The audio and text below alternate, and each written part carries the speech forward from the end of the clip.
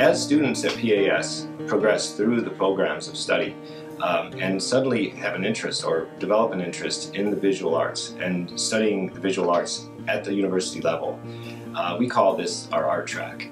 And what happens is students begin to take courses that are considered honors courses. These are uh, advanced classes that really test the students' skill sets um, and provide them with the resources that they need to uh, move into the AP courses. The AP courses that we offer, the advanced placement courses, are college level courses that include 2D design, 3D design, and art history.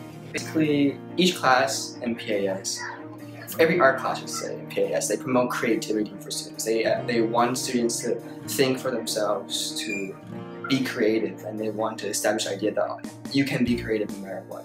And a lot of teachers actually uh, really do enforce this idea of creativity on many students and allow them to be freely do what they want as an, uh, in, in the art direction.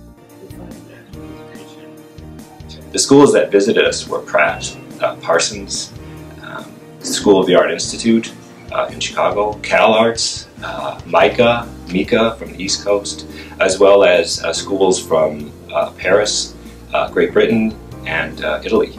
all of these schools um, were impressed with the quality of the work, the conceptual strength of the work, the maturity of the work from students at a secondary school level. It's really uh, a thing that we strive to do with all students that come into the art track. Uh, this year was really an exceptional year. We, we put together a number of uh, student installations, so when the, the schools came, they were able to really have a great visual statement of their work, along with uh, their digital submissions.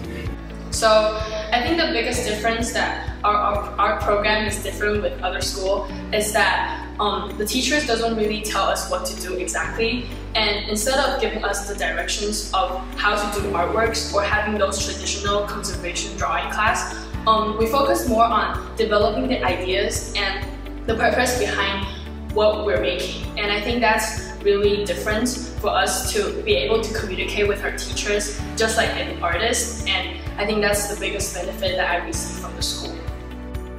Students who are interested to go to art track or the student who willing to take or study a across different area are all welcome to taking our art classes.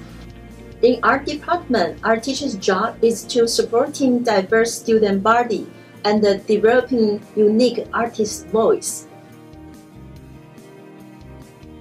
So PAS benefited me as an art student because, uh, for one, I didn't transfer to the art track until fairly later, and uh, back then I didn't know I, where I was going.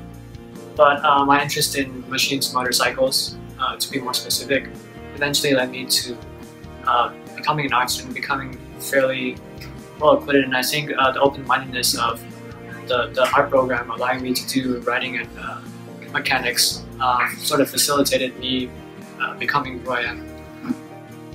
We like to focus on creativity, problem solving, and communication skills that fall into the 21st century skill set. Um, so students that we work with learn to communicate and promote their work digitally through written, visual, and spoken media. And all of this uh, supporting carefully with research and reflection.